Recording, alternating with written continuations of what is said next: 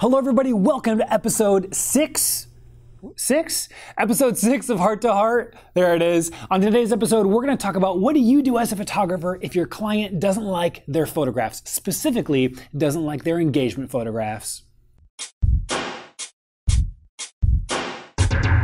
Hello, everyone. My name is Ben Hartley with Six Figure Photography and Style and Story Creative. Style and Story, to give context, is a wedding photography studio here in Columbus, Ohio. Uh, we do a lot of weddings, you guys. We try to be the best, the best at one thing. And so I've got a lot of experience with this. We need to talk about the question of what happens when a client doesn't like their engagement pictures. Uh, Michael, have you ever had somebody not like their engagement pictures? Has it happened to you? Has. Yeah, it's happened to the best of us. So, for starters, let's lay the foundation and understand this. As artists, as creatives, and as solopreneurs, business owners, um, we I think the sooner you can also recognize the fact that you at some point will let somebody down, the better. Like you cannot make every single person 100% happy at all times. And so when that time does come, I want to empathize with you. I know how deeply it hits because you put everything into it. You pour everything into it. You pour everything into your artwork into, and for your clients. When somebody says they don't like their photographs, it like crushes our world because that's the absolute last thing that we ever would want to happen or ever imagine happening. And so I get it. Let's talk about what to do if that solution, or if, sorry, if that situation, uh, if you ever encounter it. So, for starters, you need to get real self aware real quick. When somebody says they don't like their pictures, um, you really need to have a check with yourself and understand um, is this uh, on you or is this on them? Let's kind of break this down for a second. It can very well, it may very well likely be on you, meaning this, you done gone messed up, right? You uh, out of focus, composition's not very good, direction's not very good, whatever it is, it was on you. But just as much, you guys, this can also be on the client. Maybe they didn't like um, the way that they felt that day. Maybe there was something going on um, with their own kind of issues and of, of their own appearance. Um, there could be any number of things um, that they didn't like how they looked. Um, and they're asking, they're letting you know that they didn't like the photographs, maybe thinking that you were going to solve kind of that problem, and it came back and the images weren't how they maybe envisioned them to be. Um, nevertheless, the, you still need to do something about it, whether or not it's the client all in their head. Maybe they just don't like the way that they look.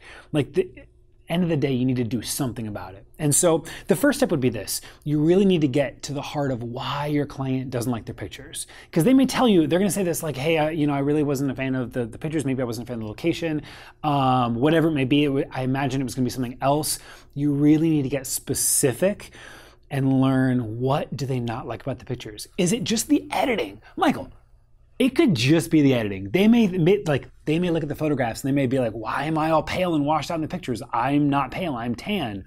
Re-edit the pictures, right, Michael?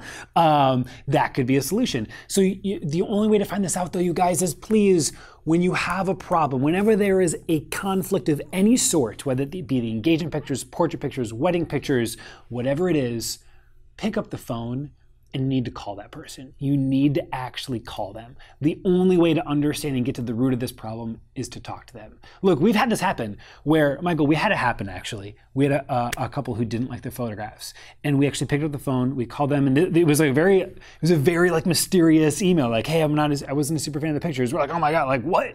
We call them, you guys, we called them up, and it was just actually more than anything there was just so so much that occurred. Um, a, a, family member had actually passed away. There was there was so much going on in the head that like they weren't able to fully be themselves during the shoot like long story short it had nothing to do with the way that we photographed it and had everything to do with outside circumstances that we couldn't have solved in that moment but that we were now able to let ourselves off the hook understand the situation and solve it. So pick up the phone and really understand why doesn't the client like the pictures? And and ask them, you know, was it the editing? Was it um, was there something else that you had in mind?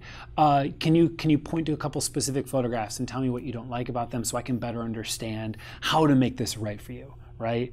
From there, then we've got a lot of places to go. Okay, so let's talk about some of the directions that you can go. Number one is own the shit that you need to own. Right. Don't make excuses for it. Don't hop onto a Facebook group and complain about the person who's complaining about your shit work. Okay? Own what you need to own. Okay, uh, that's step one. Step two is acknowledge that uh, maybe there are things that are more on the client side of things that were out of your control. Acknowledge it, uh, and then rise the occasion as as someone who's in a service-based industry. You guys, we are in a service-based industry. If these are engagement pictures, maybe it is offering uh, to do a reshoot. But before you do a reshoot, understanding what it is that you're actually going to change, because you can't just do a reshoot and then do the same damn thing. Otherwise, you're going to get the same damn email, the same call, right? So you have to have a plan. This is why you have to understand what they uh, didn't like about them, so that way you know, will a reshoot even make sense? If I do a reshoot, will that even make them happy? Right? Um, because if it's all about this, maybe it's all about uh, it rained on the day, the weather wasn't was supposed to be like, you know, like the, the colors weren't there, it was a little bit dreary, uh, their hair fell down because of the, the humidity. Maybe then a reshoot makes perfect sense right? Um, maybe it was about, uh, you know, I, I just really actually like this one side of my face and you constantly put me on the other side. Or maybe it's like, you know, the, the, the poses were too serious and I wanted something more free. Then maybe a reshoot makes sense because now you have the context to go in and change it up. Okay, so uh, understand that. The next thing is, you may also need to really think about do you need to change that lighting? That lighting just like shifted. This may be like a come to Jesus moment for you, where you you recognize that you may have a, a, a, problem client on your hands. If you say if you pick up the phone and you call them and you get a chance to understand where they're at, and you really are self-aware to understand where you delivered and where you can't, um, this may be a time where you have to check yourself and and and say this may not be the best move to continue to shoot the wedding because if I, if you gave it everything that you got and everything that you got was not good enough for them, uh, the last thing that I would want to have happen to you and have happen to that client is that you shoot the wedding the same way and they're just disappointed, but now they can't go back. Okay. So I guess I also want to encourage you to really have that that heart check, really have that evaluation to see because there may need to be a conversation that says, uh, I actually think that someone else is going to be able to serve you better than I can. Look, uh, on this engagement shoot, again, this all comes under the context of picking up the phone, calling them to understand what they didn't like. But if everything that you understand about them is stuff that you feel like you can't change or you can't deliver for the wedding, then you may need to say, I think someone can do a better job. And the last thing I want for you uh, is have someone on the wedding day that you're not 100% confident. I need you to completely be confident in your wedding photographer. And I think it might be this person here. And so, what I want to do, and if this is the case, and you're actually pulling out of the contract, this is getting into something else, Michael. Now, if you're actually pulling yourself out of that contract, then they get their refund back. They just got a free engagement session, and you walk away having learned something. That's my advice because this is you stepping back and saying someone else is going to serve you, right? Uh, that's my advice. Now, let's go the complete opposite direction with stuff and say you done gone messed up, right? You shot the whole thing on JPEG small. You uh, you forgot uh, you know your lighting equipment and it was dusk and all the sh- the shots are at you know 6400 ISO and there's still two stops underexposed and then you cranked it up two more stops in post and they're grainy as all get out.